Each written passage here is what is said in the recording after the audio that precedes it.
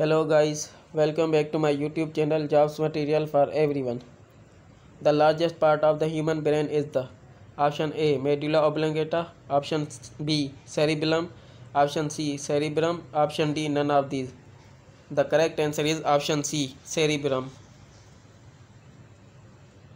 Most drugs are excreted through the dish. Option A skin, option B gallbladder, option C lungs, option D kidney. The correct answer is option D kidney.